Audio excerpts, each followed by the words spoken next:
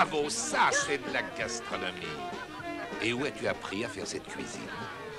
Oh, c'est une très vieille recette de famille. Très bien. Je réitère mon offre et je grimpe jusqu'à 500 dollars.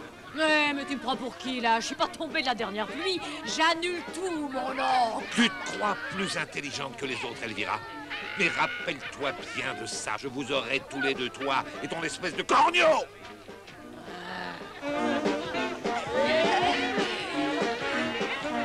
Viens m'aider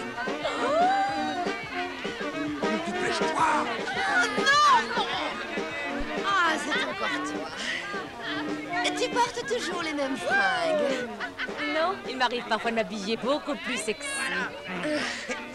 Ah, remarque, c'est nécessaire pour ton boulot, faut bien attirer le client.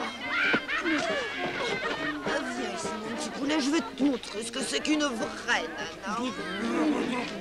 Excusez-moi.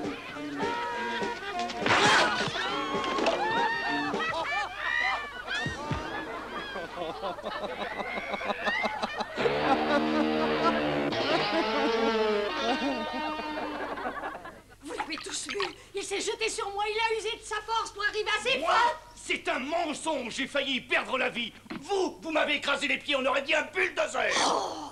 Vous ne vous en tirerez pas comme ça Vous n'êtes qu'un obsédé sexuel Je demande au conseil de renvoyer immédiatement cet Et obsédé qu'est-ce que je devrais dire, moi? J'ai découvert que j'étais homosexuel. C'est ce russe de Calvin qui a badigeonné tout le monde avec de la compote de pommes. Je suis innocente, je n'ai rien léché. Mais oui, ah, monsieur Vous aussi, vous avez cédé à la tentation du plaisir. Silence Seriez-vous aveugle? Elle vous a manipulé, vous êtes tous tombés dans son piège. C'est Elvira qui est seule responsable de cette dépravation. Je m'en doutais. Je savais bien que c'était qu'une roulure. Peut-être qu'il faudrait la virer à coups de pompe bien placés. Tu lui ferais trop plaisir, c'est une masochiste. Pour la punir, je connais une bien meilleure façon.